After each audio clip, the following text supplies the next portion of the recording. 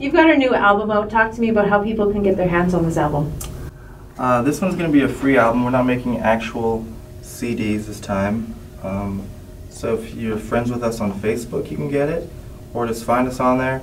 Or if you know someone we can send it to, you. we're just going to, on March 28th, we're going to post a link, and you just click on it, and then you can download the entire thing for free. Why free?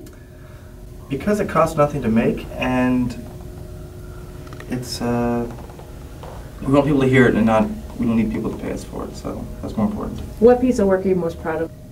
American Ether, I think, has a lot of parts to it, and I really like. Um, is another one called The Blow Up, which also um, has a bunch of different parts to it. I Like I, I like when songs change from one place to another and then kind of come back. Um, you'll notice there's a few of those in here. Also, this one called Stolen Ladies. Um, that one might be my favorite one. Why? Uh, it turned out really well. Like as far as like just because like I'm writing the songs and also I recorded them and I don't always know totally what I'm doing. and so that one turned out really like it sounds really good and kind of how I wanted it to. So I was surprised and happy and proud. Mm-hmm.